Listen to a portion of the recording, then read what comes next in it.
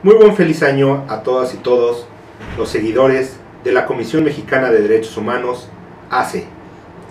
Les saluda Rogelio Pérez, director de la comisión.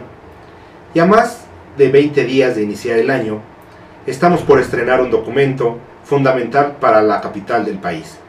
Me estoy refiriendo a la Constitución de la Ciudad de México, la cual será promulgada el próximo 5 de febrero, en donde también estaremos celebrando el centenario de nuestra Constitución federal. ¿Y por qué es tan importante este documento?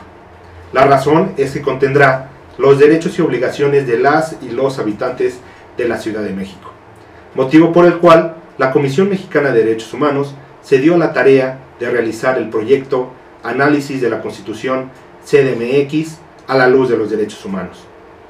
Y es aquí donde te invitamos a que revises, te informes y participes en conocer el trabajo de los constituyentes, temas como la intención de grabar la plusvalía, que esto no fue un ejercicio democrático, ya que parte de la Asamblea Constituyente fue, fue designada sin consentimiento de la ciudadanía. El proyecto fue elaborado por el jefe de gobierno y un grupo autodenominado de notables. Esto fue un ejercicio sin tu participación y bueno, no se establece el derecho humano reconocido en tratados internacionales ratificados y firmados por nuestro país, que es el derecho a la vida.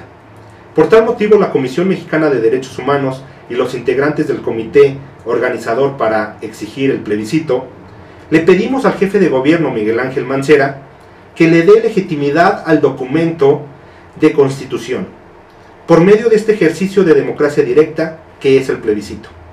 Con esto lograremos que tú, yo y todos podamos decidir por nuestra constitución. Participa en nuestra página de internet www.comexdh.org.mx en donde encontrarás el link con toda la información.